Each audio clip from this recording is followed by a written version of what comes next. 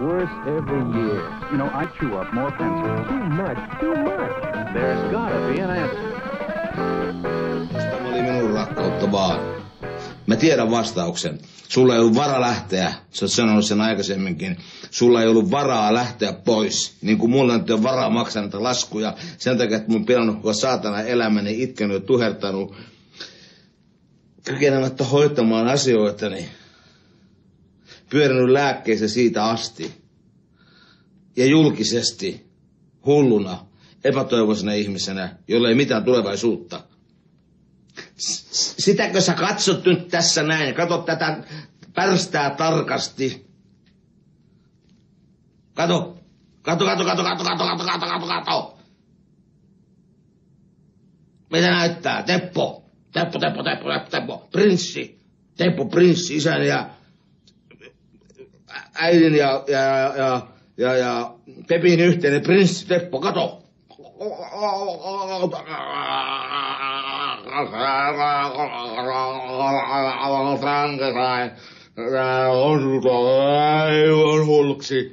Onko mukavaa? Onko mukavaa?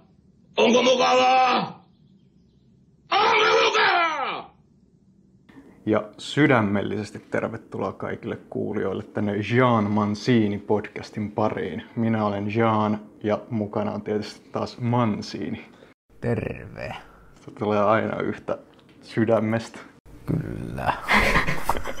Me kuultiin tuossa alussa vähän raivoamista. Onks, haluatko kertoa, että mistä tämä oli? Tää on tota, tällaista spektaakkelista kuin Yksintöön kaksi, missä Jussi Parviainen, tota, tää on siis YouTubesta löydettävissä, tällä nimellä Yksintöön kaksi, Jussi Parviainen, ohjaaja, teatteripersona, dramaturgi, viidepersona, mitä vaan, Jussi Parviainen. Tota, hän, hän siinä käy läpi tuntemuksiaan vahvasti ja käsittelee tämä Yksintöön kaksi, kuten myös Yksintöön yksi, niin hänen omaa eroaan ja tota, en mä tiedä, tää on mun mielestä helkkari hauska tää pätkä. Mutta toisaalta siinä on myös tosi vahvaa eläytymistä ja näyttelemistä. Vai onko se näyttelemistä? En mä tiedä, mitä mieltä sä oot. Tätä varmaan kysytään kohta Parviaiselta. Tässä on kyse siis, tota, tää on jotain 6-7 minuuttia pitkä monologi. Jota kuinkin. Ja tota, mm, tämähän on siis, tää on kuvattu siis Lapinlahden sairaalassa sellaisessa huoneessa.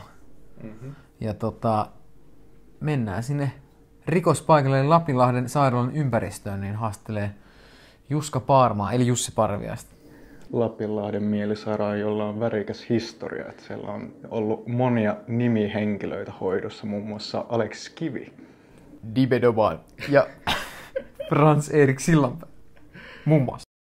Mitä muuta sua kiinnostaa tietää Jussi Parviaista? Kyllä minua kiinnostaa vähän tietää, että Aki Linnanainen pitää häntä suorastaan neron. Aki Linnanahteen mukaan moni sillä alalla pitää häntä suoranaisena nerona, ja se on vahva sana, mutta tota, kyllä minua vähän kiinnostaa just se, että mitä mieltä äh, herra Parviainen on nykypäivän taiteesta, ja kiinnostaa myös vähän tietää noista menneistäkin ajoista, esimerkiksi tuosta Jouko Turkan. Nimenomaan, koska ajan. ei voi sanoa Jussi Parviaista niin teatteria ilman, että mainitsi myös Jouko Turkan, koska hän oli kuitenkin Turkan niin kuin ilmeisesti tämmöinen oikea käsi. Siinä aikana kun Turkka oli tuota teatterikorkeakoulun niin tuota joh- johdossa, niin tota, Ja kaikki nämä Jumalan teatteri, hässäkät ja muut tällaiset tietysti kiinnostaa nyt näin, näin vuosien jälkeen tai kymmenien vuosien jälkeen, vaikka aiheena ehkä onkin koluttu jo läpi, mutta kysytään nyt vielä kerran. Ja se on ehkä jollain tavalla myös semmoinen ajankohtaisempi kuin koskaan, koska miettii, että kun on ollut tämä Me Too-liike, niin siinähän on siis niin ristiinnaulittu monia ohjaajia, esimerkiksi vaikka Lauri Töröstä. Mm-hmm. Niin samalla tavalla ilmeisesti tämä Jumalan teatteri, niin tota, se oli tietyn ajan loppu joillekin toimijoille. Että se aiheutti niin ison kansanliikkeen jo ennen tätä Twitteriä. Mitä johtaja Jansson sanoo muuten, tota, Shitteriksi. ei vaan vessan seinäksi. Okei, okay, no mutta sehän on periaatteessa nyt moderni vessan seinä. Tämän lisäksi minua kiinnostaa tietää myös se, että kun Jussi Parviaista ei nyt viime aikoina enää hirveästi näkynyt missään niin kuin tällaisissa niin kuin teatterijutuissa, niin minua kiinnostaisi tietää, että onko se niin kuin hänen oma valintansa vai onko hänet nyt niin kuin käsikirjoitettu tästä pois, että hänelle ei ole enää hänen kaltaiselleen tilaa tässä. Mm.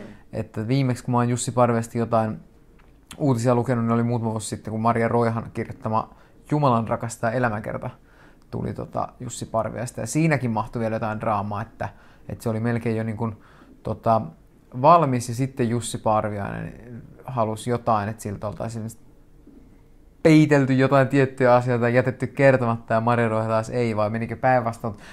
Joku biifi siitä kuitenkin näiden kahden, kahdelle tuota, tuli ja Ehkä tästäkin voidaan kysästä samalla. Joo, mutta hei, nyt tota, varmaan sen pidemmittä puheitta kysyn sinulta kysymyksen, minkä kysymistä olen odottanut jo pitkään, että lähdetäänkö mielisairaalaan?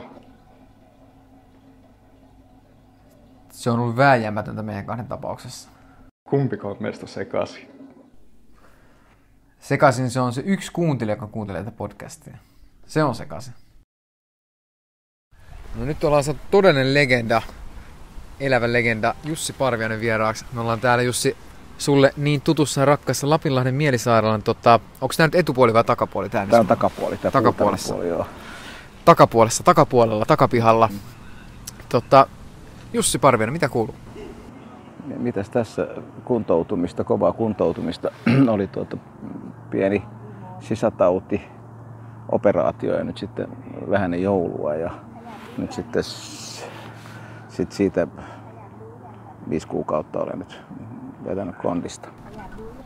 Millä tavalla tämä kuntoutus on nyt sitten edennyt?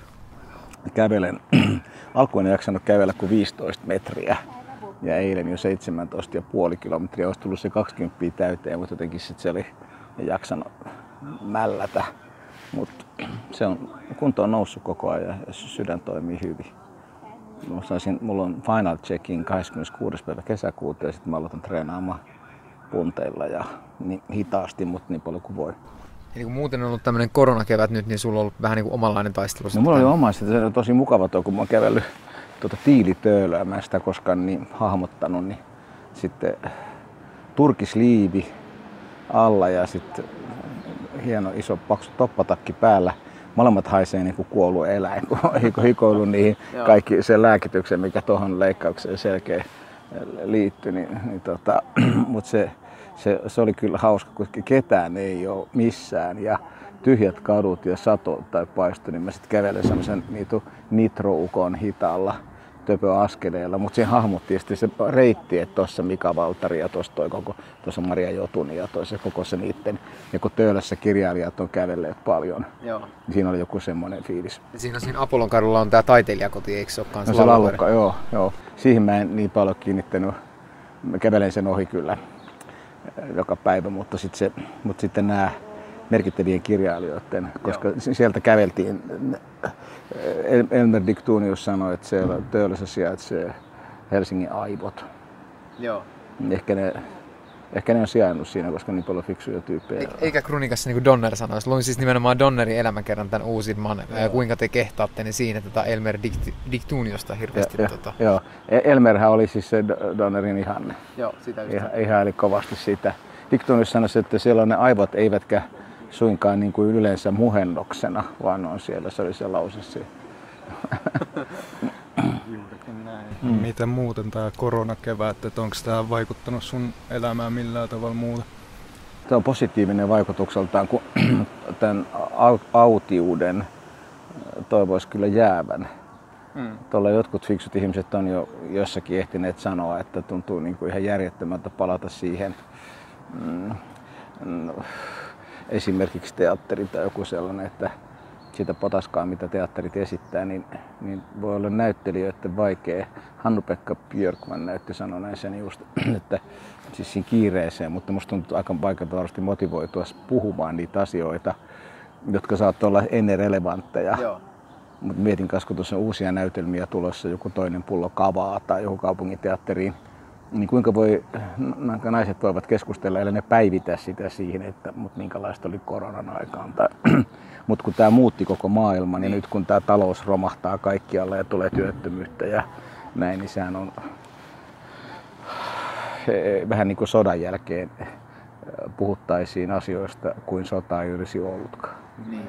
Niin, niin mulle tämä tietysti on se, että mä, mä tietysti iloitsen tästä, koska nyt on niin kuin, minä ajattelen niin, että nyt, nyt siis ihmiset toivovat sitäkin merkitystä myös niin kuin esittävästä taiteesta. Eli periaatteessa tulee tällainen uusi uudelleen rakentamisen aika vähän niin kuin Niin ja ehkä, että ehkä sitten voisi olla ideaa ja ajattelua siinä, mitä tehdä, sisältöä.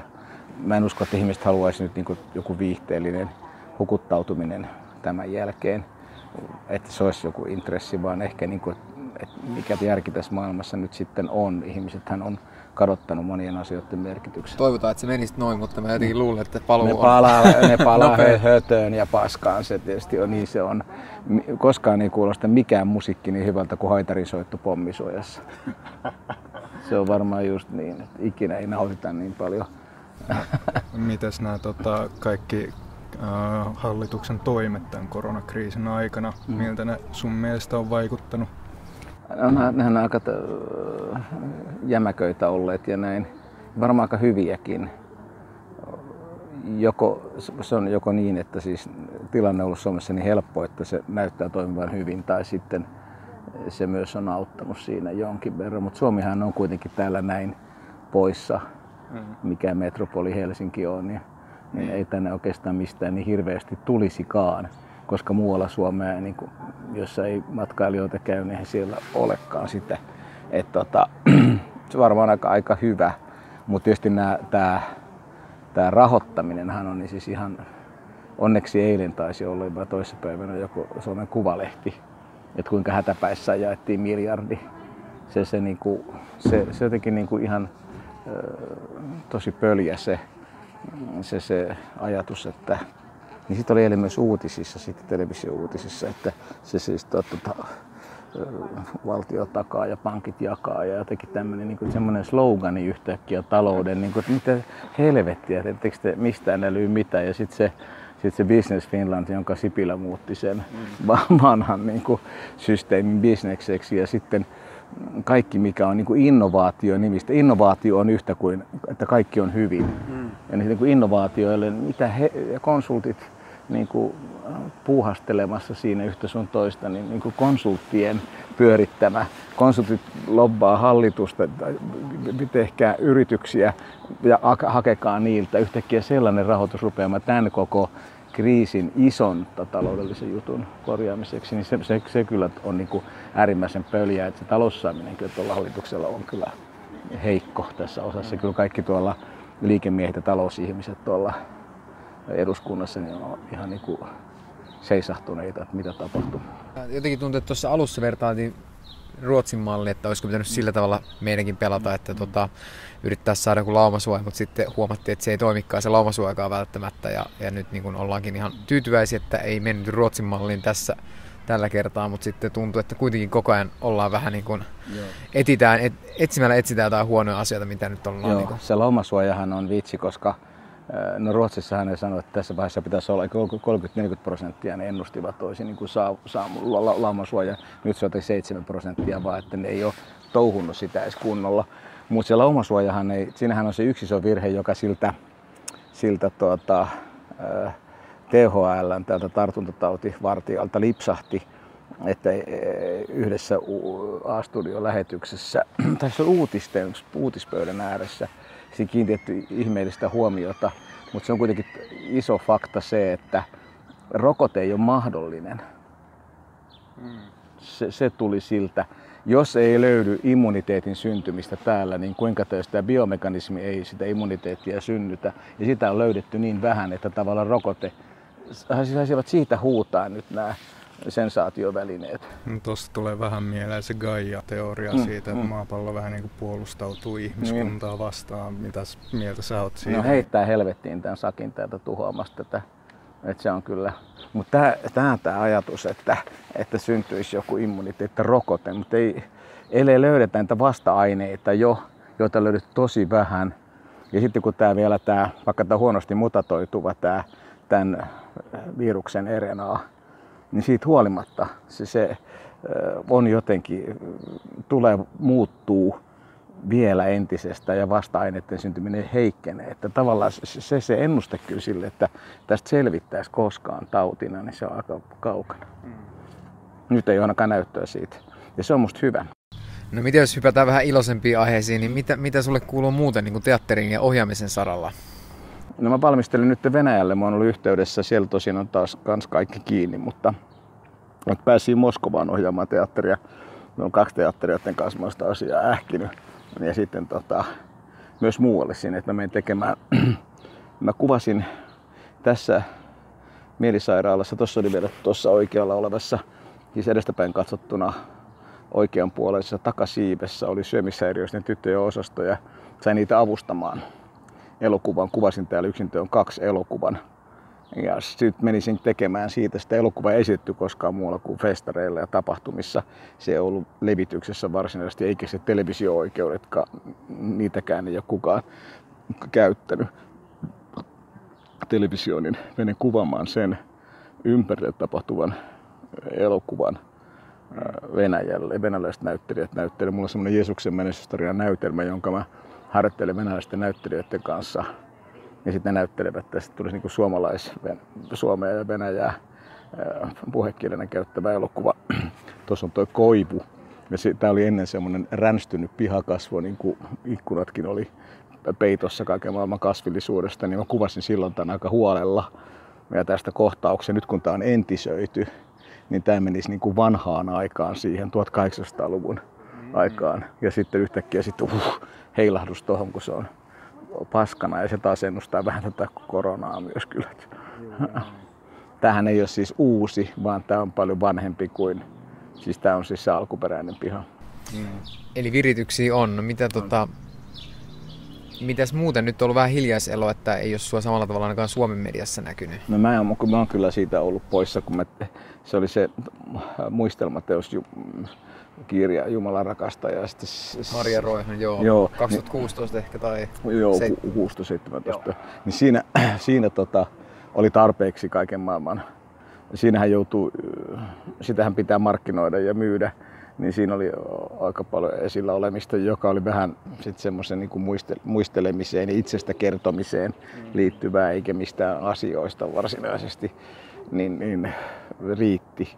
Et nyt vasta kun toi tulee toi elokuva uutena ja sitten toi teatteriesitys ja toi väitöskirja, jos mä saisin sen nyt valmiiksi, kun se käsittelee sitä Jeesuksen menestystarinaa nimenomaan, jonka taiteellisena osiona mä teen sitten ton, ton, ton elokuvan. Missä vaiheessa tätä projektia nyt siis mennään, että koska saadaan kenties tota elokuvaa purkkiin ja näin poispäin? Heti kun tämä korona antaisi periksi, niin pääsisi Venäjälle kuvaan. Joo. Eli nyt odotellaan vaan ihan... No tämä on siis tässä, mutta mua ei häiritse se, että tämä vähän viipyy, koska kaikki vaan paranee. Niin. Odotus suurenee. Onko casting tehty ja kaikki tällaista? No se katos venäläisiä näyttelijöitä, että mun täytyy sinne sitten rynnätä tota, ja sitten niiden kanssa. Mutta siellä on kyllä tosi hyviä. Tuossa Donbassissa on ja tuolla tota, monta teatteria. Se on se itsenäistymässä oleva valtio, joka sitten se Itä-Ukraina. Itä mm, niin, niin, sieltä tota, niin, niin sinne musta on haus, hauska rämähtää. Ja mä, semmoinen super semmoinen niin masterclass-koulutustapahtuma ja sitten siinä harjoitellaan se. Niin sitten siellä mä katson, miten se, miten se tehdään. Muutenhan mä tietysti näyttelen siinä yksin itse. Ja mun nuori lapseni Peppi näyttelee siinä. Se mun henkilö, niin siinä yksintyön kakkosessa oli täällä, huusi täällä. Peppi, koska saan Pepin luokse, nyt Peppi on nuori nainen. Ja se näyttelee siinä, se on Roomassa töissä arkeologisilla kaivauksilla. Ja... Okay. Et siinä on se, se iso, iso kertomus ja siinä kommentoidaan. Eli tämä on se sama hahmo, mikä on siinä yksin On, on mutta sitten muuttuneena. Että mä, mä olin silloinhan mä olin lihotin sitä varten yli 40 kiloa painavamassa kuin mä nyt on ja, ja tein aika hurjat. Mutta nyt voi. Ja nyt on tota, sit se on niinku eri aika. Ja siinä on siis aika ennen sitä, jolloin tämä mun henkilöni olisi ehkä semmoinen 35-vuotias.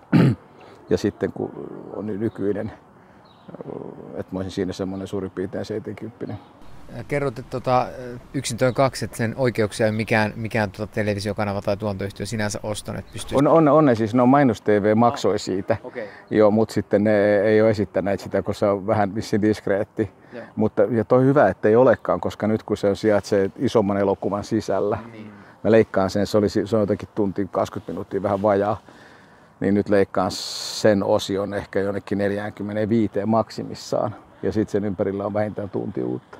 Mutta siis YouTubessa on nähtävillä muutamia, muutamia klippejä tästä yksityön kaksi niin, elokuvasta. Niin. Ja yksi on just se, missä olet tässä tota, Lapinlahden mielisairaalassa yksinään punkan punkan lailla istumassa Joo. ja kerroit viikko sitten, kun törmättiin täällä sattumalta, niin tota, kerroit, että, että se on niin kuin teatteri kouluopiskelijoiden tämmöinen niin kuin suosittu monologiaihe. Ja se, tai se, se opiskelijoita, jotkut, jotkut siis nuoret näyttelijät, joku oli näytelmäkirjaliitosta kysynyt, että saako sitä käyttää. Ja kansallisteatterissakin sitä, se oli tehty sinne imitoidakseen äh, mua niin kuin narsistisena henkilönä. Että siinä oli, niin, niin oli tämä henkilö tuotu siihen Heni Junkkalan näytelmässä. Mutta jotkut nuoret kundit on esittäneet sitä monologia jossakin, mä, mä en oikein tiedä missä, mutta pari tapausta ainakin on ollut. Se on niin kuin, siinä on se riehunta, joka huudetaan. Se kuvattiin tuonne ylilääkärin huoneistoon lavastin niin kuin oman kotiin ja siellä riehuin. Mutta sitten, sitten on se mielisairaala-tilanne on tuolla eri paikoissa. Ja tuonnehän tuonne Pylvässaliin, joka on siis tämän vanhan yliopistollisen psykiatrisen yliopiston sairaalan patologian sali, jossa on avattu aika monta päätä ja etsitty aivolisäkkeen ylikasvuja niin sinne lavastin haudan niin kuin sisäpuolelta, että potilashuone muuttuu haudaksi, siellä kasvaa murattia seinillä ja kivi työntyy läpi. Tästä tämä tämmöinen detalji sanotaan, tämmöinen kuriositeetti, että sehän on aika hu- hurjaa, kun ajattelee, että vielä 70-luvullakin on tarvittu siis Suomessa tehdä lobotomiaa niin mielisairaanhoitoon. Niin täällä on myös sähkösokkihuone. Tuossa ne luulee, täällä jotkut kertoo legendana, kun tuossa on semmoinen äh, tota, neurologiset yksiköt, tuossa tuommoinen huoneisto, niin se on siis niin, tota, äänieristetty. Siellä on tehty siis vain äänitöitä silloin yliopistolliseen aikaan. Jotkut pitää sitä sähkösokkihuoneena, kun se on neurologiset tutkimusyksiköt. Täällä on annettu sähkösokkeja varmaan noissa, noissa kliinisissä huoneissa, niillä vanhoilla räppänöillä. Mun mielestä täällä ei ole harjoitettu sitä edes. Et sehän on ollut, tuolla kyllä on ollut sitten, sitten tota, mu- muualla äh, Hesperiassa. Ja siellä, siellä on sitä ollut aika pitkäänkin. Mutta täällä mun mielestä ei ole. Tämä on niin kuin lääkityssairaala. Joo. Kalle Akte, joka tätä johti, oli siis tota, tämä legendaarinen psykiatrian professori, joka sanoi sen lauseen, että se, joka ei nähnyt hullua, ennen kuin farmakologinen psykiatria kehittyi, ei tiedä mitä hullu tarkoittaa. Ja sitten taas se farmakologian kehityttyä, niin sitten alkoi olla hiljasta sakkia. Ja sitten kyllä alkoi nä- silloin, sitten nähtiin paljon hulluja. Täällä on kyllä hiippailtu tosi niin kuin varovaisesti. Tässä tosin on se aika, kun täällä oltiin pahnoilla. Täällä oli niin vaikeat tapaukset, pakkopait ja pahnat. Tuossa vastapäissä Siivis näkee, tuossa niin tuossa huoneessa oli Mika Valtari, tuossa Jean Sibelius, ja tuota, niin, F.E. Sillanpää ja Aleksis Kivi tuolla päädyssä. Täällä on ollut kyllä siis iso kaarti. Sibeliustahan täällä katso tuolla, se oli sisällissodan aikaan piiloteltiin tuolla vintillä. Se oli potilaanakin täällä muutaman kuukauden mukaan, niin kuin, mutta sitten piiloteltiin tuolla. Mutta hoitajissa oli paljon punikkeja, että ne laihduttivat sen, antoivat sille vähän huonoa keittoa. Okei. Okay. No mitä tota, esimerkiksi just sanoit, että tämä yksintä on kaksi ennen kuin se nyt siitä tulee osa isompaa kokonaisuutta, niin sitä on nähty vaan festareilla aikaisemmin. Ja muutenkin esimerkiksi tätä Harmageddonia on vaikea nykyisin nähdä, jos haluaisi. Mm. Tai sitä ei taida olla julkaistu oikeastaan missään kotiformaatissa. Niin onko tämä niinku, harmittaako tämä sua vai onko tämä ihan niinku tota, tietoisesti tehty. Ja siinä on hyvä, kun siinä on kysyntä, kun siinähän Skandia-filmi, joka tuotti Harmagedonin, meni konkurssiin aika nopeasti sen jälkeen. Siellä oli muutama epäonnistunut Kafkan linna-elokuva, jonka Jaakko Pakkasvirta ohjasi, mutta se kaatuisi. Se ei konkurssipesään rypemään. Mä sitä hakenut sitten kavisto sitä versiota festareille ja esittänyt siellä. Itse asiassa on aika hyvä, että, että se on siellä piilossa tuossa hautausmaalla kävin äsken viemässä kavereille kukkia. Siellä on Edward Pesala ja Spede ja, ja tota, niin, Tarmo Manni. Niin muistelin sitä, sitä tota, siinä kuvattiin Jaakko Forsmannin suomalaisen kirjallisuusseuran haudolla sitä mm, tota, Harmagedonia. Niin Harmagedonin tota, katoin sitten suuntia. Senhän kuvasi Slavomir Ichiak, joka sai tonkin ton on kuvannut siis tuolle tuota, niin Kieslavskille elokuvia. Vaidalle yhden elokuvan sieltä varhain, siis suuri mestari, joka kuvasi nämä kaksi tornia ja näitä merkittäviä juttuja, niin katselin noita maisemia, että, että itse asiassa tuolla plakkarissa on erittäin hieno elokuva myös. Mutta se hyvä, että sitä esitetään, ettei se kulu. Se meni siis silloin 30 vuotta sitten yhdellä kopiolla. muutamissa teattereissa. Niin, niin. Joo, se on jopa vähän surullista, että, että niin hauskoja kuin vaikka jotkut Uuna Turhapudot on, niin MTV, kun niillä on ikuiset oikeudet niihin, niin tota, niitä näytetään ehkä vähän liikaa, että sitten ne... No ne pyörittää semmoista, mikä, mikä olisi niin kuin joidenkin mielestä. Mutta siis, hän, toi tarjonta. Nythän on hyvä, kun Netflix taisi ruveta, siis ilmoitti siitä, että ne esittäisi tuota Chaplinia ja muita. Siis kun Netflixin kai siis sai kuinka monta kymmentä prosenttia lisää siis katsojia tästä tämän suoratoistopalvelun tämän koronan vuoksi. Ja. ja se oli hieno, hieno mälli. Mutta sitten Mubi nyt pisti, tämä taideelokuvakanava, niin pisti sitten silloin ihan hillitön valikoima, niin pisti kilpailakseen sen kanssa, niin tota, pisti nämä vuokrattavissa olevat elokuvat kaikki kuukauden nähtäviksi. Jos katsoo näitä kanavia tai vaikka Viaplayta, mitä tahansa noista, niin, niin mit, mitä paskaa televisio työntää. Mä, mä en pysty, mulla ei televisiota ole, mulla on kyllä iso niin kuin näyttö siis televisiota, mutta mä en kytkenyt sitä verkkoon, vaan katson siitä vaan leffoja. Mutta sehän on siis nämä kesä, kuinka monta kesää turha puro. Nimenomaan, tai James Bondit tai mm, niinku, mm, mm. Se tuntuu, että jommat kummat pyörii aina telkkarissa. Niin, se on huono huumori ja täysin kyseenalaistamaton väkivalta. Mm, juuri näin. Mm. No, miten, tota, miten sä arvioisit nykytaidetta niin kuin muuten tällä hetkellä, esimerkiksi Suomessa? No, kuvamataidehan on tässä muutama kuvataiteilijan nähnyt, kun olen tuossa nyt näissä kuntoutuskävelyissä liikkunut täällä. Kuvatmataiteethan on aika ahkeroita ja musiikista tehdään kyllä noin, siis, siis maan klasarien puolella muuhun, muuhun ei kyllä innosta, mutta ne tekee kyllä hyviä juttuja. Esa-Pekka Salonen näytti johtaneen noiden sinfoniabändit yhdessä niin nämä tekee arvokasta, mutta teatteria tai niin okay. kun lapset tekee sitä töikseen, niin sitä ei voi haukkua niin paljon kuin pieni tekisi. mutta se on niinku, sehän on, tai siis minkälaiset ohjelmistot noi on. Toinen pullo kavaa, Stalinin ruoska, niin kuin semmonen, mikä se nyt on, joku tämmönen jännä, ne ei satiiri, vaan tämmönen niin farssi tyyppinen niin. tästä tota, niin, kylmän sodan ajoista Suomesta, tai siis niin kuin tuon tutkintakomission, mutta ihan aivan niin, kuin niin huonoa paskaa saatana, että missään taidekoulussa että joku tarjoaisi tämmöistä ideaakaan ennen niin opettaisi, että miten sä ilkeät näin huonoja puhua. Nyt ne on niin kuin pääohjelmistossa saatana isoja ja kalliita produktioita. Se on niin kuin, mitä järkeä. Mistä sä luulet, että tämä johtuu, että tämä on tilanne päässyt tähän pisteeseen? Idiotit on ruvennut hommiin. Se on varmaan se, että kun nyt vaan niin kuin ilmoittaa vaan, että minä tässä teen ja touhuan, niin sit siinä on heti vaan niin kuin tämmönen chic-tyyppinen.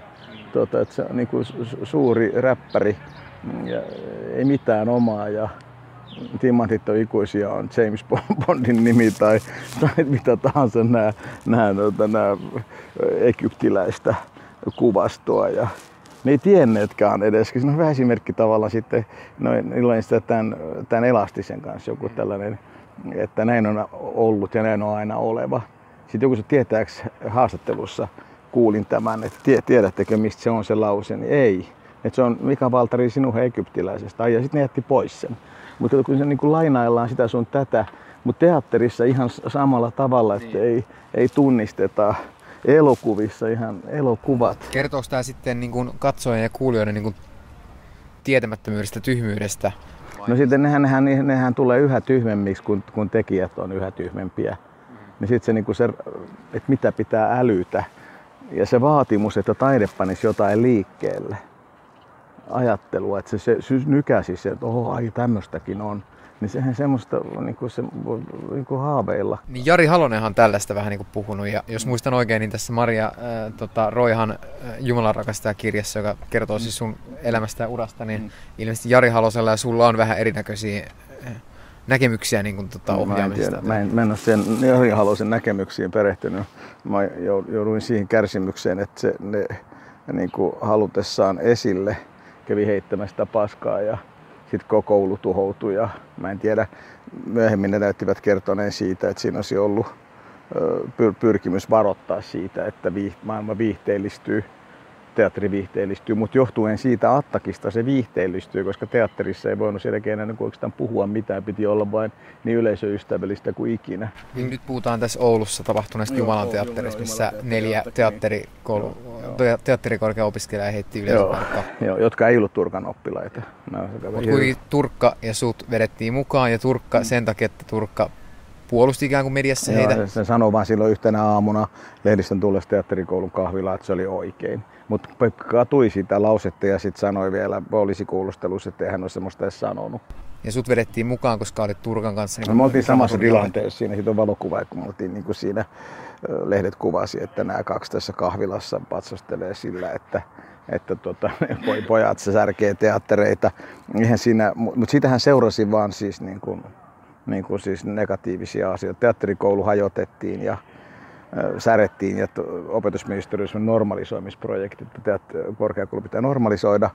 Ja sitten tietysti teatterit, sielläkin ei voinut mitään semmoista mm, niin kuin yleisöä Kerrot siitä, että oppilaat jäi heitteille. No jäi heitteille ja puolet kouluoppilaista jäi ilman opetusta kun me jouduttiin Turkan kanssa lähtemään. Turkka erosi ja sitten mä en hakenut omaa virkaan, joka pistettiin tuota, vakinaistettavaksi. Ja etkö säkin periaatteessa eronnut, että sä sanot, että sä... No, mä erosin siis, kun mä en hake. Ero. Niin. No se oli ensin se, kun joukos, mä sanoin eroavani sen paskaheiton jälkeen. Musta joukos, että eroat, näki, oli nähnyt se lööpin, että älä eroa että sanoi, että yön yli nukuttua tuli toisia ajatuksia. Sitten mä en sen takia sitä, että se koulu jotenkin pysyi pystyssä. Ja sitten mä jäin opettamaan sitä niin kuin noin puolta koulua. Joo. Yksinä niin opettajat erosi kyllä Ekisaarella, Rito Valkama ja muut lähti sieltä kyllä kiitämään sitten mutta sitten siitä, sillä paskanheitolla ei ole mitään muuta kuin teatterikoulun tuhoaminen siitä, minkä Turkka oli saanut aikaiseksi. Se katkaistiin siihen, että ne, jotka puhuvat siitä niin kuin sen asian edestä, niin kuin Halonen tai jotakin, niin puhuu täyttä paskaa. Ja sitä paitsi se on niin tyhmä poika, että se ei voi puhua kuin paskaa. Et se on niin kuin, mä, en, mä en ymmärrä sitä lainkaan. Kirkkopeltohan sinne sitten, mä autoin kirkkopelto opiskeli Strasbourgissa teoreettista filosofiaa, astui takaisin Suomeen, soiteltiin, niin mä sitten tuuppasin sitä sinne uuteen kouluun opettajaksi, että edes jonkun luentosarjan pitämään, mutta sitten se otti siellä iso valtapaikan ja musta oli vähän kornia tai hyvin typerä juttu se, että kundi, joka on se ollut tuhoamassa sitä, nyt sitten siinä niin. uudessa niin kuin ihan mit, mit, mit, tosi typerässä ankalammikossa pyörii niin kuin päällikkönä. No mitä sä muistelet ylipäätään sitä aikaa ennen sitä Jumalan teatterikohua, että oliko se niin kuin, koet se, että se oli periaatteessa sunkin henkilökohtaista kulta-aikaa tai jotain tämän tapasta? No se oli hyvä se, kun mä olin tehnyt tuon siis tuon Jumalarakastaja ja näytelmän ja Turkka tuli sitten katsomaan sen ja tuli takahuoneeseen sanomaan, että siellä on dramaturgian lehtori virka auki, että hae sitä. Että jos tulisit hänen kanssa, että voitaisiin niinku yhdessä vääntää sitä koulua. Niin mä hain sitä ja menin sinne. Outi Nyyte haki sen kyllä se viran siitä äh, välistä. Ja sitten musta tuli niinku dramaturgian assistentti. Sitten mä olin kyllä sitten, outin siirryttyä sitten rehtorihommiin, niin sitten siinä tota, dramaturgian lehtorina se oli hyvä, siis silloin oli kyllä tosi voimakas, hyvä koulu. Me tehtiin tosi arvokasta, hyvää työtä. Mm. Monet muut opettajat myös, Valkama tietysti ja Arto F. Hellström ja, ja Nenne Uotila ja Ritva Valkama ja kaikki. Se, se oli hyvä koulu. Mutta noin halus niin kuin jotenkin esille nämä Halonen ja muut, että ikään kuin koulu nyt särkyisi, että Turkkaa kohdellaan väärin. Jokkehän resursi niin paljon mediassa, että oli odotettavaa, että syntyy vasta liikettä. Mutta sitten nämä niin kuin siinä kaappaamaan sitä. Sitten vielä Pirun teatteri hölmöläiset särkivät sen koulun, jonka jälkeen opetusministeriö ilmoitti mullekin, että me vittuun sieltä koulusta. Mutta en mä ole tähän syylle. No niin, mutta me helvettiin lehdet kirjoittaa niin negatiivisia koulusta, että no ei, mä en voi mitään siinä, mitä lehdet kirjoittaa. Voit mennä vittuun sieltä. Yhteiskunnallinen paine oli semmoinen, että päitä piti niin sanotusti pudota. Ja... Niin, mutta nämä, nämä päässit pojat niin kuin halutessaan esille aiheutti ton. Ja se, muuten se olisi kyllä kestänyt vaikka kuinka kauan. Eihän Turkalla mitään syytä ollut erota. Turkka oli siirtynyt sitten rehtorihommasta ohjaajatyön professoriksi. Niin. Jos tätä ei olisi tapahtunut, niin mitä sä luulet, että sun oma ura, miten se olisi mennyt eri tavalla? No en tiedä, se ainakin siis, en, tie, en tiedä muuten, mutta se ainakin se opetustyö oli hedelmällistä siellä ja noiden, noiden kanssa toi, oppilaiden kanssa touhua. Meillä oli tosi hyviä oppilaita, joista tuli hyviä tekijöitä, Lea Klemola ja tällaiset, jotka oli siinä, niin kuin, siinä kokonaisvaltaisessa opetustyössä mukana. Ja lahjakkaita näyttelijöitä sain valita sinne Samuli Elman ja Santeri Kinnuset ja nämä muut, jotka oli todella hyvää saa. Irina Kruun ja nämä, niin se oli niin kuin älykkäitä, lahjakkaita näytelmäkirjailijoiksi ja ohjaajiksi valmistuvia. Se oli tosi hyvä.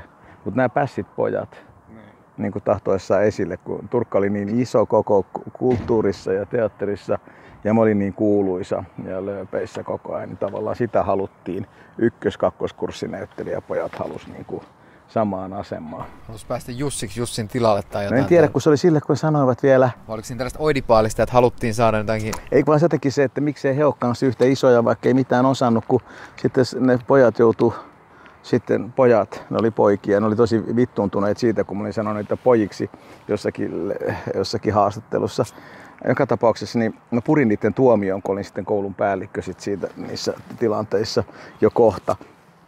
Niin, niin tuota, ja sitten saavat tulla takaisin opetukseen, niin sanoin, että ei halua tulla takaisin opetukseen, vaan opettajiksi. Okei. Okay. Niin ehkä toi, lause, niin, niin ehkä toi lause kuvastaa sitä. Ei, että me opet, kun mä sanoin jossakin, jollekin Liisa Häyrinen oli vielä siis tämä Höyry Häyrisen vaimo, joka sen, sen artikkelin toimitti, muista mihin lehteen, olisiko kuvalehteen, joo. Että ne tulee takaisin, että ne on saanut takaisin niille, että purin niiden tuomio, että ne pääsee opetukseen takaisin. Ne tulee opetukseen, me ollaan niin opettajiksi. Me ei meidän kanssa mennä samoille. Niin kuin mikä kuvitella millä taidolla, milläkään ammattitaidolla, mitä töitä on tehty, eikä mitään. Aivan siis niin, kuin niin täydellinen kusipää. Tämä oli Jari Halosen lause vielä. Kannukset pitää niin sanotusti ansaita, että voisit oikeasti. Ehkä pitäisi jotakin osata. Niin. Ja tehdä jotakin työkseen, eikä vaan niin se paskanheitto aateloi. Tai luo uskomatonta ammattitaitoa. Niin. Ei se tätä tapahdu edes digitekniikassa. Yhdestä keksinnöstä ei tule Steve Jobsiksi. Juuri näin. No entäs sitten, tota, kun Turkasta ollaan nyt puhuttu, niin mitä sä itse muistelet Turkkaa ja mitä luulet, miten esimerkiksi Turkan tapainen ohjaaja olisi tässä nykymaailmassa, tässä miityy jälkeisessä maailmassa pärjännyt? Joukolla varmaan olisi ollut kovassa, mutta ehkä sitä miityytä ei olisi tuommoisessa muodossa olemassakaan, jos se olisi niin vahva, että tämä femdom ei olisi ehkä niin styrkka, jos olisi myös älykkäitä miehiä esillä olemassa naisethan on tullut siihen älytyhjiöön, jota miehet on edustaneet. Tyhmät, tyhmät miehet on niin kuin, miesten tyhmyys on antanut sen tilan, että naiset on tullut siihen, kun ovat luonnostaan fiksumpia. Tunneälyllisesti jo aivokurkiaisen ollessa kaksi kertaa leveämpi kuin miehellä, niin, niin pelkästään sillä jo syrjäyttää miehet kaikista tehtävistä. Et se on ollut aika mutta ei varmaan ei olisi sitä, jos olisi niin kuin älykkäitä miehiä tai ammattitaitoisia miehiä ehdolla. Ja jotenkin tuntuu, että tähän nykymaailmaan kuuluu myös sellainen jonkinnäköinen hedonismi ja se, että kaikille pitää olla aina hauskaa ja muuta tällaista. Niin, niin se... kiva. Nykyään kanssa TV ja elokuva, jotkut tiesi kertoa, että pitää kirjoittaa semmoinen pahvi alle, kun menee tuotantoon, että kaikilla on kivaa. Ja jos jollakin ei ole kivaa, niin sitten täytyy raportoida siitä. Okei. Okay. Se, se, se oli, siinä on sellaisia soppareita, joka on musta ihan käsittämätöntä. Niin, joskus on sanottu, että ei voi luoda mitään hyvää rikkomatta ja vähän ei koet, koettelematta niitä rajoja. Niin kai se on se luovuuden niin kuin yksi, niitä se, se on, luovuus on niin kuin tuhoava myös. Mutta tietysti jos tehdään viihdettä ja saada kaikki viihtymään. Ja sitten nyt näyttelijät kutsuvat itseänsä viihdyttäjiksi. Monissa haastatteluissa sanotaan, että mä oon viihdyttäjä. Okei. Eli ei mitään panemassa liikkeelle. Mutta ehkä siitä taiteen tehtävästä, esittävän taiteen tehtävästä panna jotain liikkeelle on luovuttukin. Ehkä sille, ehkä sille ei ole sitä. Ehkä se, niin se, ja siis siihen on kyllä tämä tää paskanheitto syyllisenä yhtenä kulttuurihistoriallisena faktana Suomessa että, että ei, ei, haluta mennä huutamaan näyttelijän siitä, siitä, näyttelijänä siitä näyttämän parrelta sinne suoraan tota, niin katsomon sekaan. Se oli kiellettykin silloin sen paskaheiton jälkeen monia vuosia, että voi puhua suoraan katsomon päin. Okay. Kun se on ahdistava ja, ja tota, yleisöä niin kuin, että ne saa olla rauhassa. Eli yleisö vaan odottaa että missä vaiheessa se eka pökälle Niin, niin, tavallaan jos huutaa yleisöön, niin mitä se syyllistää meitä. Niin. Että me katsotaan tässä ennemmin Sen se sai aikaan. Eli onko tässä nyt tullut tämmöinen trubadur että mä viihdytän, sano mitä sä haluat, mä teen sen. Niin ja sitten jotenkin se, se, se, varmaan on sen, mutta niinhän kaikki on tuommoista niin vitsailemista televisio-ohjelmat on niin kuin nämä putoukset ja muut.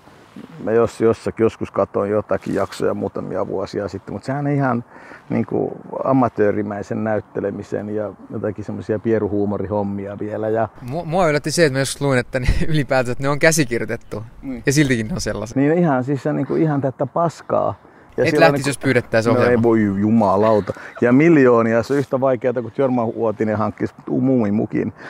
niin, niin, niin kun, se, kun se näytti olla loukkaantunut, kun lööppi oli siitä, että Jorma Huotinen kauhistui, kun se on siellä muumimuki.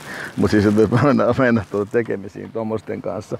Mutta se on se nyt käytävän sodan luonne tuntuu, hei, tähän mä haluan tarttua. Tuntuuko, että sut on vähän niin kuin nyt periaatteessa käsikirjoittu tästä nykymeiningistä pois? Ei ole, kun mä siis kyllä tähän voisi kirjoittaa, jos haluaisi. Voisi sitä tehdä tuuneja, mutta eihän tuossa maailmassa mikään erotu, kukaan ei... Eli tämä on sun oma valinta, että sä et ole samalla tavalla en ollut? minä ole tarjonnut mitään edes. Niin teatteriin mä kyllä haluaisin töihin, mutta en ole tarjonnut semmoista duuniikaan mihinkään, joka olisi niin kuin... Eikä tähän, tähän ohjelmistotilanteeseen voi tarjota mitään jos mä Jeesuksen menestärien näytelmää tarjoaisin teatteriin, mä oon lähettänyt muutamia teatterijohtajille sen, mutta ei ole keskusteltu siitä sen enempää, niin se sovi tähän. En, en usko, kukaan saisi katsojia, jos puhutaan jostakin kysymyksestä. Mutta mä luulen, että tämän jälkeen, kun tämä kriisi on tässä käyty, niin voi olla, että äh, halutaan kuulla jotakin ajatuksia. Eli... Jos, vähän, jos mä vähän provosoin, niin et koe olevasi niin persona non grata? Ei, ei se. Tai siis mielellään musta ajateltaisiin, että voi kun se olisi jo kuollut tai jotain semmoista, että vituttaa saatana. Vanheni säkkiä sinne eläke ja sitten, että on liian vanha tai jotain, mikä tahansa. Mutta eihän mulla ole siis vastustustakaan ollut. Siis, siis se kouluvaihe oli ja sitten sen jälkeen, mutta ei mulla edes vastustajia, että ei, se, se, ei kukaan tahtoisi mua painaa tai vaieta kuoliaaksi tai mitään sellaista. Että jotkut on jotkut kirjoittaneet siitä, että mut niinku työnnetään syrjään, mutta en mä, enkä mä ikinä ole käyttänyt niinku sanaa kateus tai jotakin, kun eivät tahdotus kateellista. Kateellisuuden sen käsitteen käyttäminen, se kontekstuaalisesti sieltä sen, että olisi aihetta kadehtia tai jotain, että pelättäisi. Tai jotain. Ei semmoisia, ne on niin kuin naiveja, narsistisia paranoideja. Että ei, se, se, ei, se, ei, ei mulla ole vastustajia. Että musta, musta paljon parempi ollakin niin kuin tehdä yliopistoduunia, tutkia tota, laajentaa mahdollisimman iso tutkimus tuosta transcendenssin kommunikoimisesta näyttämöllä.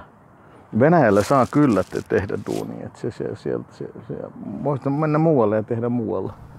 Nimenomaan. Mm, ei se, se, mutta että tavallaan sen jälkeen mitä mä tein ja mikä toimii ihan niin kuin ajattelin ja, ja, ja, ja mikä oli päämääränä, niin ei mulla sen jälkeen ollut. Siis, että se, siis sinne tuli se, se, se nähtyä sitä asiaa. Voisi siis jos ajattelee niin mun aikaan, teat- Kari Heiskanen oli teatterikoulussa mun aikaa ja Kari Heiskanen teki kirjoittamassa Stalinin ruoska.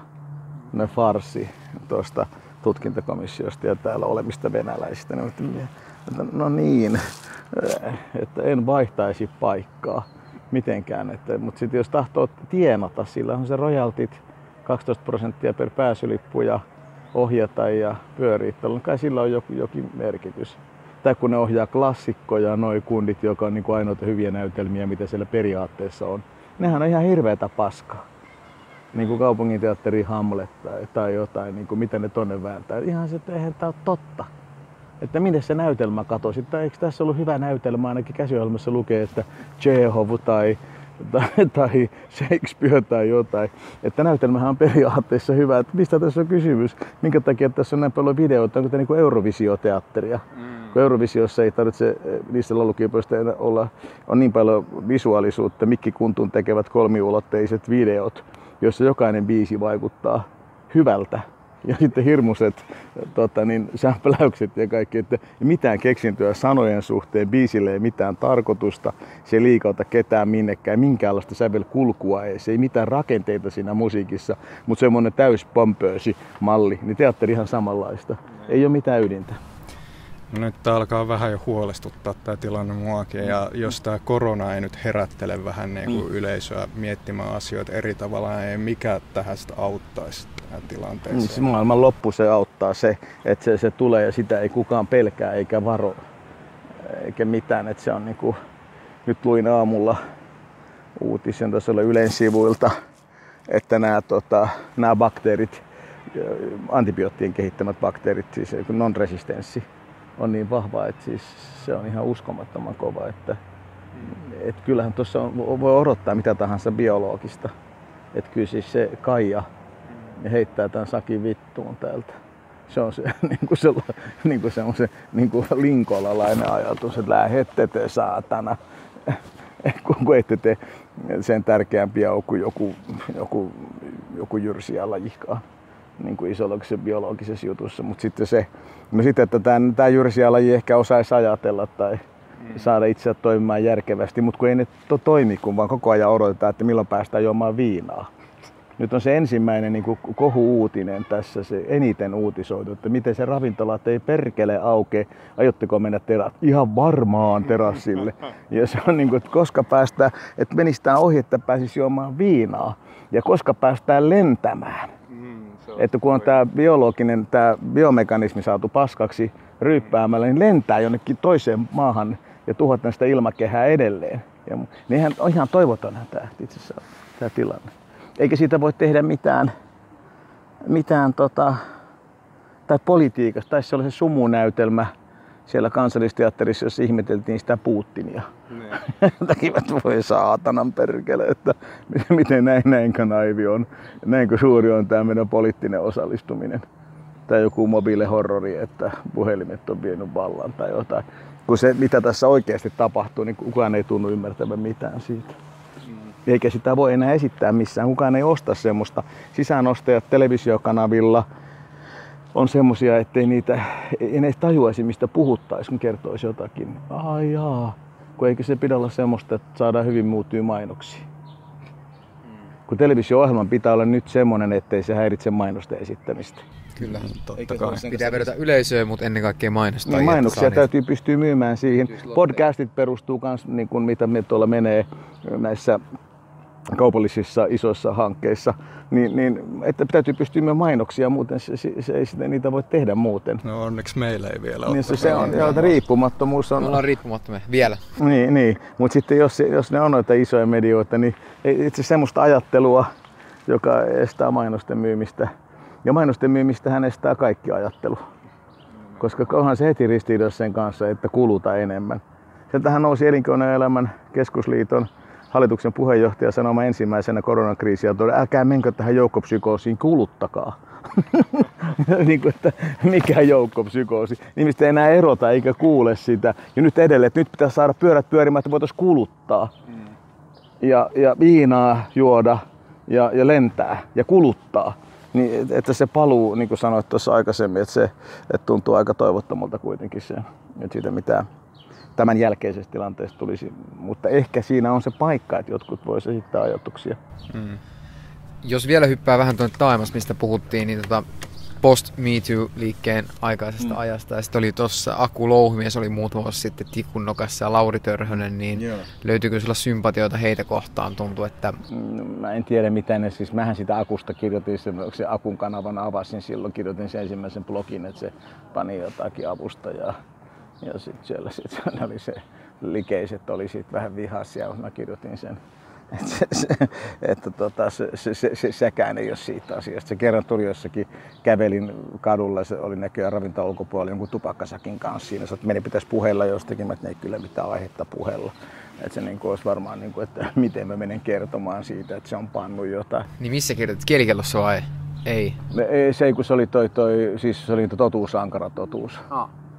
Niin sulla oli siis kymmenen vuotta sitten about niin tota, tällaisia blogeja, mihin kirjoitit yhtä sun toista. Ilmeisesti mitä on käsittänyt, niin tietynlainen viidemaailma ja tällaiset silmää tekevät, niin ne oli hiukset pystyssä ja pelkäs, että sieltä tulee jotain heitä koskevaa. Se oli, se oli ihana se voitto siinä, kun joku, mikähän se oli, tota, joku ihan kunnon media otsikoi, että Parviani iski tuon roskamedian paskaksi kertaheitolla. kun mä siis herjasin Seiskan toimitusjohtajaa ja niitä toimittajia, ne uskon, että ne ei voinut kirjoittaa musta, mitä myöhemmin ne on tietysti ajatellut, että mä oon kuollut, niin voi kirjoittaa, mutta aukasen sen blogin, niin mä kerron niistä niin ikäviä asioita, että sattuu kyllä. Ja totuus, ankara totuus on siis Dantonin lause, se on mm, ranskaisuuden vallankumouksen mm, romaaniaihe, punainen ja musta, niin siinä on se lause, totuus, ankara, totuus. Totuuskomission perustivat siis Joseph Danton ja sitten Robespierre. Robespierre ja kolmas Joo, oli joo. ja sitten niillä kävi vähän huonosti, meistä ottivat toisensa siinä, totuus vie silleen.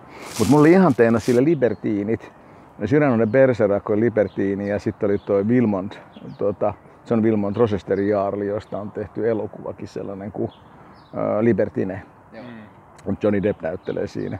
Ne kuoli, ne jätkät kuoli vähän yli kolmekymppisinä ja kuppaa ne kaikkein. Ne, ne naisia, miehiä ja naisia ja joi helvetisti ja oli rikkaita ja tahtoivat kuolla. Mutta kirjoitti hävyttömästi, kuningas heitti vuoroin tyrmää vuoroin siihen hoviin.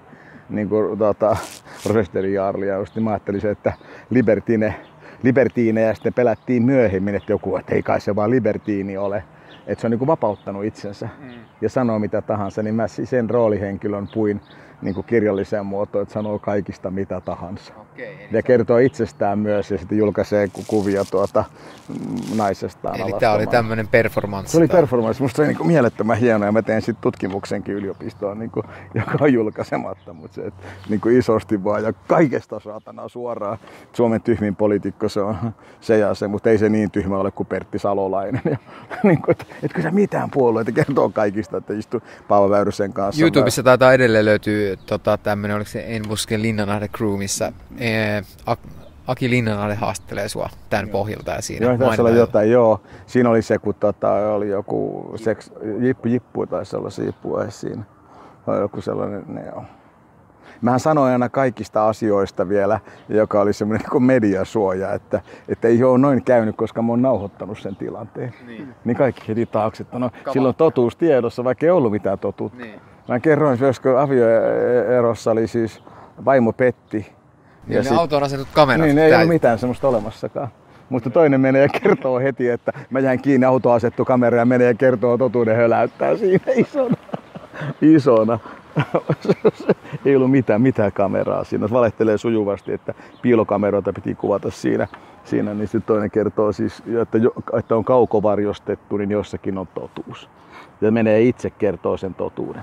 Tämä kyseinen erohan taisi olla aika ikävä mediassa sitä jonkun verran riepoteltiin. Joo. Ja tota, muistan, että tässä sun kirjassakin niin vielä muutama vuosi sitten niin oli ilmeisesti jotain ää, lapsen kasvatuksellisia erimielisyyksiä ollut tota, Pepin äidin kanssa. Sä olit sitten sen takia vihasena puukottanut omaa MacBookia. No mä löin, kun siinä oli vaan sellainen, että siellä oli se, se lapsen niin kuin huostaanotto, että mulle ei ilmoittaa mitään siitä. Niin sitten mulla oli sitten toi Airi siinä.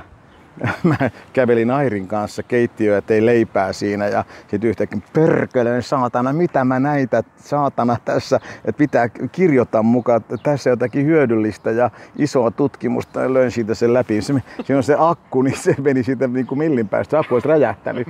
No mä noin sanoin, että se olisi ihan kauhean. Sitten mä juoksin vielä, otin MacBookin sieltä, löin polvea vasten sen ja television sitten toisesta huoneesta, joka sekään ei ollut verkkoa asennettu, löi ikkunasta läpi sen pihalle. Saatana huusi, älkää varo, älkää menkö lähelle, saattaa räjähtää. Mulla on täällä siivoaminen käynnissä. niin, kuin, niin kuin kaikki ne tavallaan mediaan liittyvät työvälineet, jonkin asian esille saaminen tai kuulluksi tulemisen niin kuin kanavan särkeminen siinä.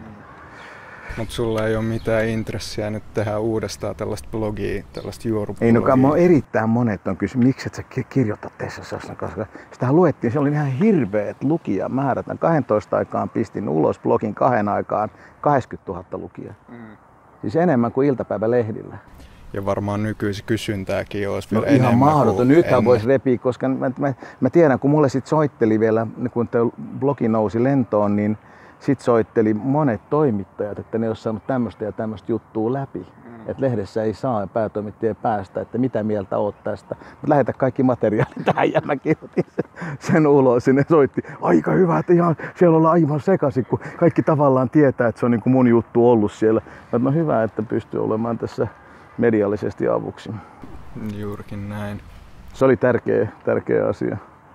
Mutta ei ole siis suunnitelmia. Ei ole, siis tai kyllä mä jäähän se Libertine. Mä käsittelen sitä Libertineä tässä yksin ö, kakkosen niin kuin yhtenä sakarana, koska mä tein siitä sitten sitä kun nähän ihmiset luuli myös, että mä oon se henkilö oikeasti se mustapartainen sälli, että musta on tullut semmoinen.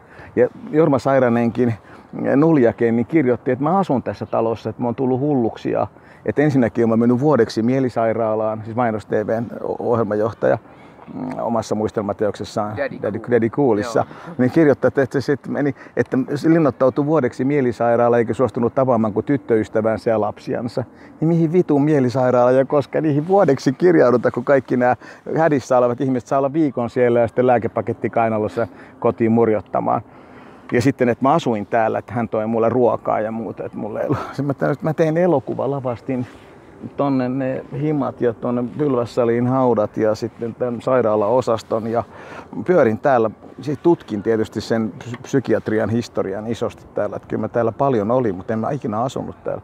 Mutta mä luulen, että se on aika yleinen harhaluulo ilmeisesti tässä tapauksessa kuitenkin, että jengi ajattelee, että se on nimenomaan Jussi Parviainen oman eronsa jäljiltä. Joo, joo, niin on. Sitten, sitten ajatellaan... vi- Mainitsit näitä oikeita ihmisiä nimeltä siinä, niin Joo, joo, joo. Siinä oli vielä se, se, se oleellinen pointti, että et tota, ne luuli, Teemu Laajasalo, nykyinen Helsingin piispa oli silloin siis tuossa Agrikolan kirkon toiminnanjohtajana ja ne oli kertonut pappikaverinsa kanssa no, nähneet mut siinä partasena ja muuta, että ei vittu Jussi on aivan pelkkä, tekee varmaan kohta kaulakiikun.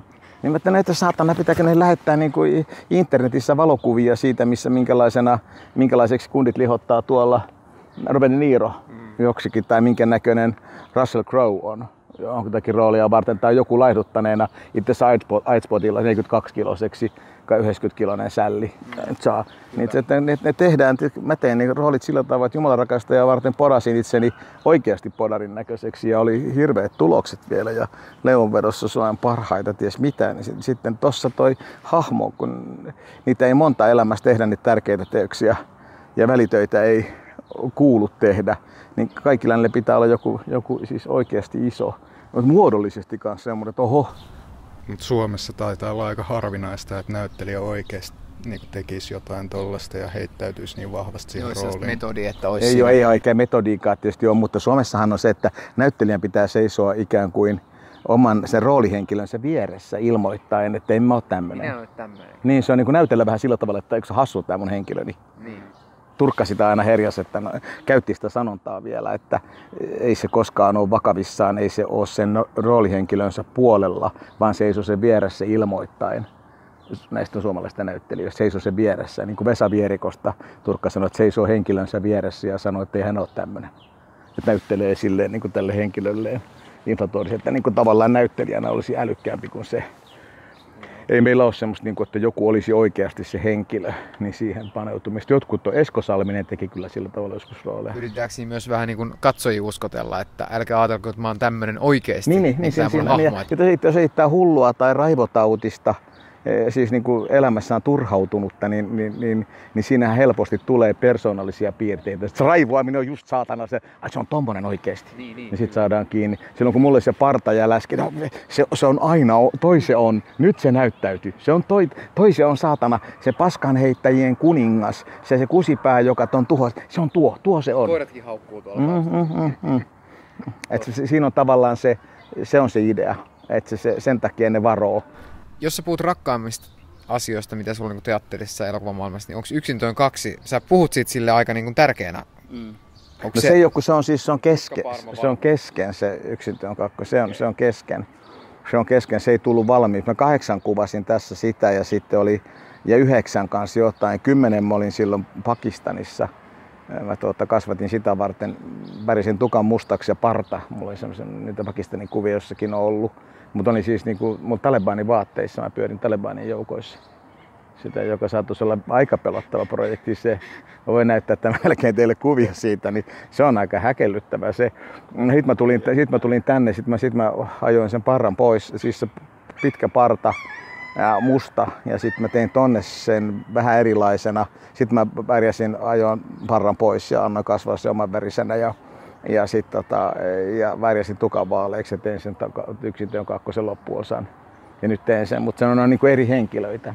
Aivan, aivan. Et se, se, se, mutta mun- ei, ei ne ole se Jumalan rakastaja, jota varten mä niin monta vuotta urheilin sitä, siis rakensin sitä lihaksia ja tein sen henkilön ja kävin, matkustelin ulkomailla ostaen sille vaatteet ja aloin elää se henkilön elämää. Loin Juska Parma-hahmon ja sille puhemaailman ja ajat, ajattelumaailman ja Se on sääli, että sitä on vaikea niin kuin enää mistään niin kuin löytää. Voi vaan lukea niitä tietoja siitä Mm. näyttämästä ja tälleen. No siinä olemassa se, mä kirjoitin semmoisen kirjan joka oli niin filosofian väitöskirjan lähtökohta, jota mä ikinä sitten sitä ei koskaan tarkastettu, mutta tein, että kirjoitin sitten semmoisen yleistajuisen luonnoksen kuin dramaturgian filosofia, sen on VSOY julkaissut, niin sitä löytyy ehkä kirjastoista ja muualta, niin siellä on kyllä sen, se, se henkilö, se, se maailma, siellä on myös Jumalan rakastajan näytelmä ja valtakuntanäytelmä. ne on, ja sitten siis Harmakeidon on se kolmas siitä, jos se näyttelee niin kuolemansa jälkeistä elämää. Joo. Juoksee tuolla hautausmaalla kovaa ja tota, haudalta haudalle. Mulla on samanlainen kohtaus nyt sitten siinä, siinä tota, uudessa Jeesuksen medestarinassa, että, että kuuluu tosi kovia askeleita ja kamera juoksee haudalta haudalle, kun ne etsii kavereita, joiden kanssa ja asiat sovimatta elossa ollessa niin kuin tavallaan se aikajälkeen ajan. Mm. Okay. Ja se on siis tämmöinen yhteistyö venäläinen suomalainen Joo, se, se, on, se on, silloin mä kyllä rysäytän sille, että sit, sit, saa, sit saa miettiä jotain. Ja sitten mä, se Venäjän raha on niin hyvä, että ettei mun tarvitse tota, odotella mitään tuossa. Mä suoratoistoihin työnnän sen ja kyllä mä sen varmaan saan elokuvateattereihinkin sitten, mutta se on siis se, se, se, se idea että, että tekemättä semmoista kuin tilataan, niin, niin luo semmoisen maailman, jonka kaltaisia ehkä tilattaisiin sen jälkeen muilta. Miksi tämä pitää tehdä yhteistyössä venäläisten kanssa tai nimenomaan Venäjällä? Onko Venäjällä silleen... on niin hyvät näyttelijät ja sitten Venäjällähän se eetos on ollut aina kova. Mulla on sellainen esimerkki nyt viime aikoina siinä, kun se nuori kaarti, on siis Kirkkopelto kirjoitti semmoisen kirjan kanssa niin kuin näistä teatterikouluterroristeista, joka on vähän eri asia kuin neuvostonuoret, jotka nousi fasisteja vastaan tappeli. Siitä löytyy YouTubessa vanha elokuvakin, siis 47 tehty. Ja sitten siitä on äh, Moldia Kvardia, se on se, äh, myös TV-sarja on tehty siitä kun venäläiset, niin kun, ja niiden vaatteita on jossakin historiallisissa museoissa, kuinka ne nousi, ne, kun tekeytyvät toiseksi ihmiseksi ja vastustamaan fasisteja. Niin Venäjällä kyllä on ollut ja siinä sosialismissa, josta nyt teki siis Rchanov teki sen kokeellisen elokuvasatsin monta vuotta, rakensi sinne Ukrainan, siis sen pienoisneuvostoliiton, jos ihmiset asuu. Siitä oli Hesarissa näköjään joku artikkelikin. Niin, ni, niillä on kyllä se, että ryhdytään olemaan tämmöisiä, että no perkele tapa, mutta mä edustan tätä. Että Ryssässä on se ruuti ollut aina, että tässä mennään. Se Tarkovskin isoisähän tappoi saarin siellä jo, että se, on se, se porukka on niin kuin aika reipasti. Ja Nikita Mihalkovin isä on tehnyt kahden Neuvostoliiton ja sitten uuden Venäjän kansallislaulun sanat. Että ne, ne, ne, ne, ne ei ole tyhmää sakkiin, niin niiden taiteilijoiden lähtökohdissa on niin kuin tsaarin murhaajaa ja muuta. Että me on oltu vähän niin kuin ajankohtaisesti kiinni. Ja se on, se on vähän niin kuin toisenlainen kuin täällä tämmöiset saatana velliperseet. Tämän takia just kysyin, koska ilmeisesti sulla oli jossain vaiheessa tota kohudosentti, mm. kohudosentiksi kutsutun Juhan Beckmanin kanssa niin tota, jotain virityksiä. Joo, no me ollaan kavereita Juhanin kanssa. Juhanahan on fiksu kundi. Joo, joo, mutta lähinnä se, että sitten kun sanoo noin, niin sitten voi olla, että suuri yleisö ajattelee, että okei, että nyt se on sitten niin kuin... No ei se Juhankaan neuvostoliittolainen ole eikä, eikä Venäjää hallitse, mutta on sillä hyvät Venäjä-suhteet. On monella muullakin. Kyllä mä se Nikita Mihalkovin on tavannut muutamia kertoja aikaisemmin ja sehän on fiksu kuin mikä. Sehän on umpi putinisti kyllä, sillä on omat show televisiossa. Mutta että ei se... Tuossa kun toi, mä tein semmoista, valmistelin dokkaria ja, ja radio on myös sellaista isompaa juttua tuosta infosodasta ja fake newsseista, niin tietysti mä molempien kaveri siinä olin aktiivisesti Juhan Beckmanin ja Jessica Aron, mm. joka on niin kuin ainoa sille, että mua, totta kai mä oon niin kuin lähellä niitä. Kyllä mä Talebanien kanssa on vuoristossa pyörinyt, niin ei, ei, ei se niin kuin, sieltä joku englantilainen toimittaja ei uskonut, kun ne sanoi, että me ei jo kotiin, niin yhtäkkiä se hävisi. mutta mutta tota, et kyllähän se pitää käydä siinä asiassa lähellä. Että ei se Hemingway ole viimeinen maailmassa, joka uskalsi olla Espanjan sodassa ja opiskella se härkätaistelun kanssa siitä ja kaikessa mukana. Että vaikka ei olekaan ihan sitä mieltä, mikä inhimillinen ei ole vierasta, mutta kyllähän nämä asiat pitää tietää ja tuntea, eikä niitä tehdä niin kuin vaan teatteri tai niin kuin näyttelijöitä, että vähän ollaan sinne päin, että pannaan hattu, kun teitään kehitysvammasta, niin pannaan lippavinoa. tai siitä vallankumouksellista olla vähän kova ääninen ja vahto valuu suupielistä tajuamatta ollenkaan, että miksi se on vallankumouksellinen. että mikä hermostollinenkin vika siinä täytyy olla, että se ei sopeudu. Ja sopeutumattomien ihmisten symbioosi on vallankumous. Minkä, minkälainen Georges Danton oli tai Robespierre ja, ja muut, minkä, mitä ne kundit jo ajoivat, tai sitten miten sitten Ranskassa edelleen. Mä lähden Ranskaan kuvaamaan tuohon kanssa osia, kun siellähän Sputnik Fransan kuvaa sitä keltaliivien juttua nonstoppina. 24-7 Venäjän televisio niin siellä on se, kun siis nehän ihan ei Pontar koolea sitä, kun Napoleon sinne vietiin lippu siihen tota, sillan kupeeseen siitä asti ja yliopistomellakoita ja muita. Ranskalaiset on siinä kanssa niin kuin eettisesti läsnä. Niin kiinnostaa se, mikä on se ranskalaisen vamma, että asettua saatana, kun ne särkee kaiken. Ja ampuu pistoolilla ja valtas metroasemia ja muuta. Ja poliisit ei voi mennä. Jos poliisit tappaa niitä, niin sitten on sama kuin nyt tuolla Jenkeissä. Kyllä. Et se on niinku se joku siinä ja mikä, mikä, mikä syttyy nyt noissa, kun ne särkejä varastaa ja polttaa? Mikä siinä syttyy? Ne on niin kuin mielenkiintoisia asioita. Ei se, että jotkut on niin kuin mediassa vallankumouksellisia. Että jos ei juokse se, se niin kuin, tuossa on Järnefeltin hauta ja äh, Järnefeltiläiset, no ne isohiiden veljekset, jotka tunnetaan kaikkialla niin kuin erityisajattelijoiden piireissä maailmalla – puna, niitä luultiin punaisiksi, kun oli vain niin työläisiä ja eivätkä suostunut valkokaarteen. Ne telotettiin, valkokaarti telotti ne. Niin se toinen niistä antoi, sillä oli hyvät ha, ha, rukkaset, niin antoi telottajalle, että kun se selvästi palelee ja kun mä en tarvitse, niin otan nämä. Niin sitten se, niin, niin, sit se ehkä niin kuin paskaheittäjä poika, mm. niin kuin, että tuota tuota. Et vähän se niin kuin noi asiat. Ja kyllähän se Juhanillahan on ollut sehän on fiksus Venäjän osa ja mä tutustuin Juhani joskus 2004 tai 2003 tai jotakin. Se oli kirjanmessuilla, se oli silloin kustantanut Juhan Beckman säätiön kautta isänsä, loistava asiantuntija myös, niin kaksi kirjaa, Stalinin psyyke ja Terioi hallitus. Mm. Että se suuntahan ei ollut ollenkaan niin kuin, vaan semmoinen niin kuin, niin kuin, Putinin trolli, vaan, niin kuin, vaan niin kuin sivistyneen. Sen takia siis just kysyin tätä tota, ehkä hyökkäävälläkin tavalla, koska mediassa on maalattu näin. No se maalataan jos... ja sitä pidetään ihan niin kuin rutaleena. Ja ei se ole, onhan se tietysti vaikka mitä päästely suustaan, niin kuin, mutta Jessica Aronkin kirja Putinin trollit, että se pistää, että ne on trolleja. Ja hän on käynyt Pietarin trollitehtaalla, kun jonkun viraston pihassa, niin täällä on se trollitehdas. Kai semmoisia informaatiovirastoja on vitusti. Sinne voisi mennä tuonne kaapelille ja sanoa, että mä olin nyt saatana tässä CIAn keskeisen tiedotusyksikön, että täällä on hirveästi tietokoneita. Mm ja sitten taiteilijan näköisiä kahvilassa. Ja ne on naamioituneita. Et kyllä kai suurin liike koko maailmassa, joka ihmisiä liikuttaa eniten, on kollektiivinen mielikuvitus. Uskotaan mihin tahansa. Kuussa ei ole käyty, rokotteet tappaa. Maailma on litteä. Niin se on litteä ja sitten on lavastettu vaikka mitä näitä, mutta se on niin hyvä tämä tää, tota, tää, että tämä korona on vaan saadakseen se Bill Gatesin juone, että voidaan rokottaa kaikki mikrosiru. Ja se on niin kuin laajin vielä, että rokotteilla tapet. Joo, ja sitten mä oon kuullut myös sellaisen, että 5G-verkko levittää koronavirusta niin, tai jotain niin, niin vastaavaa. Niin ne rukoilee, mä olin se kirkon piirissä käymässä, rukoiltiin pois 5G. Joo, joo. Ja siellä oikein tulisena, että, että, että, ei tulisi se 5G tähän. Että ei ole saatana totta. Se oli professoreita siinä piirissä. Että kollektiivinen mielikuvitus, niin sen vahvempaa ei ole mitään. Mutta sen, mut sen takia ehkä, että olisi sanomassa jotain, jolla olisi merkitystä. Ja sitten, että jos tämä mahdollista pistäisi liikkeelle tämä korona, jos tämä sitten antaisi mahdollisuuden.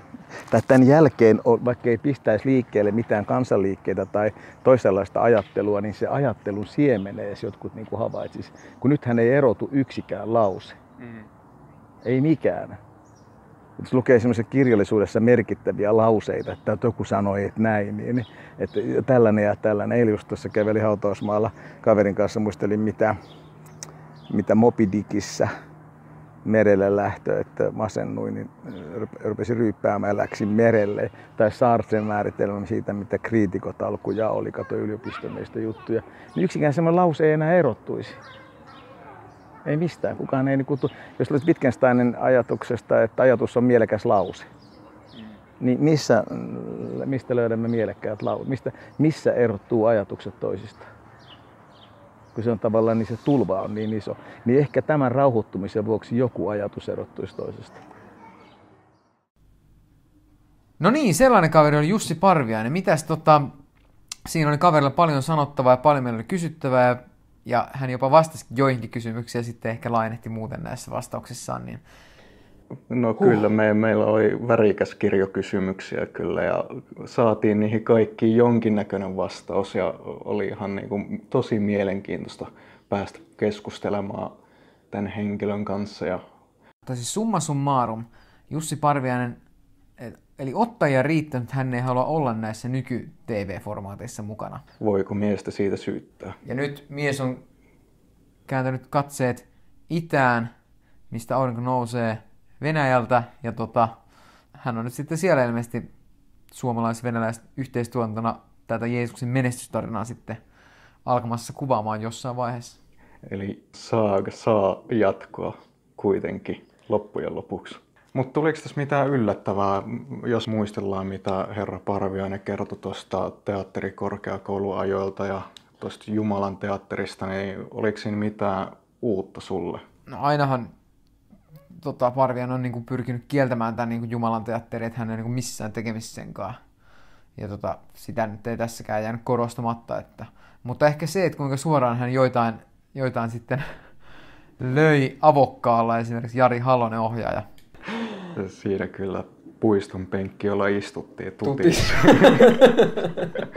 useampaan otteeseen. Samoin tutis ne, tota, ne ikkunat karmit tuossa tuossa, tuossa Lapinlahden mielisaaralla. Joo, saattaa taustalla vähän kuulua pauketta, kun siellä ikkunoita suljetaan ja ovia avataan ja suljetaan. Mutta...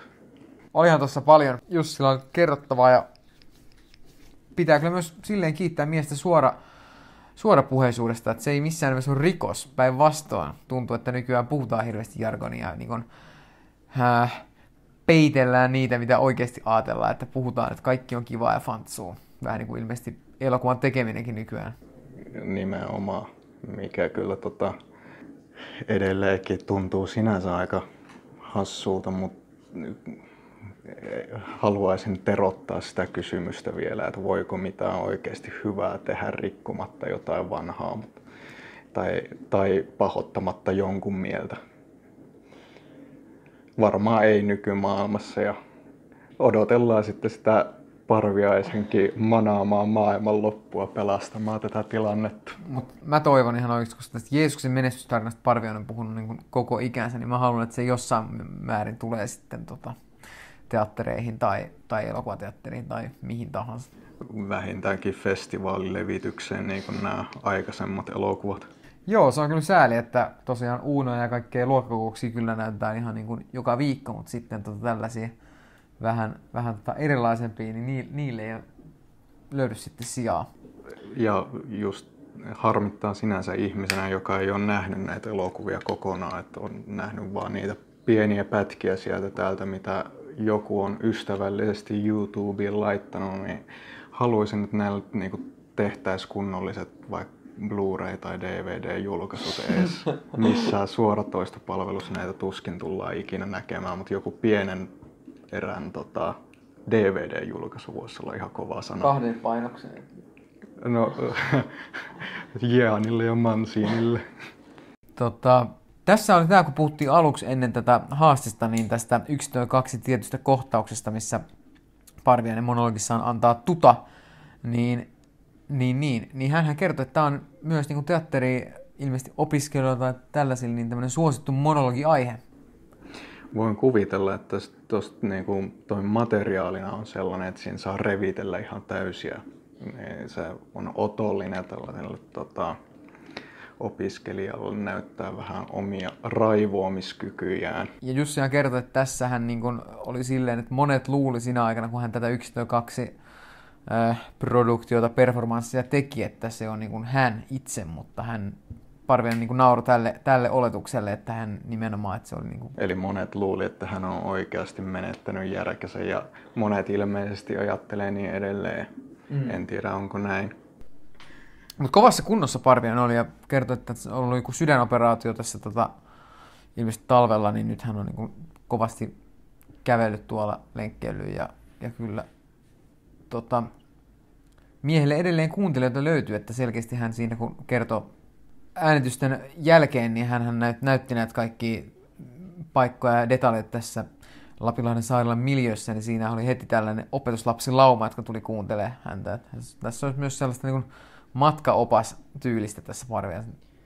Se oli myös kiinnostavaa, että hän kertoi kertoi tuosta Ankara totuus Ankara, vai oliko se totuus Ankara totuus Dantonia, niin tota, kun hänellä oli siis tämä juorukello-sivusto silloin, öö, varmaan kymmenen vuotta sitä pitkälti joo, ja kertoi vähän tällaisia, tällaisia erinäisiä salaisuuksia eri julkiksista ja, mm-hmm. ja tota, en mä tiedä, miten sä koet tämän? Hän sanoi, että hän vaan, että se oli ikään kuin vähän jotain performanssia tai tällaista. Se koko keskustelu oli mielenkiintoinen siinä mielessä, että niin kuin siitä ehkä saattoi saada sellaisen kuvan, että kaikki, kaikki mitä tämä herra Parviainen tekee, on periaatteessa osa jotain niin kuin suurta esitystä tai suurta performanssia. Myöskin tämä blogi. Ja jäämme odottamaan, että tota, sit kun tämä korona-aika helpottaa siinä määrin, että tota, Jussi pääsee tarkemmin kuvaamaan vähän jäi epäselväksi, kuvataanko toi nyt sitten niin Suomessa, Venäjällä vai Donbasissa, Itä-Ukrainassa tämä Jeesuksen menestystarina, mikä nyt selkeästi on hänellä ollut pidemmän aikaa tämmöinen missio. Jää mielenkiinnolla odottamaan ja toivottavasti projekti lähtee nyt nopeasti käyntiin. Mä toivon myös sitä ihan niin kuin vilpittömästi, mutta siltikin sanon tähän väliin, että en pidättele hengitystä sitä odotellessa. Mutta ei kai tässä muuta. Pistetään tota, äänitykset pakettiin täältä puolesta kuittaa kaksi nuorta pojankoulutiasta, joiden elämät on myöskin pilalla.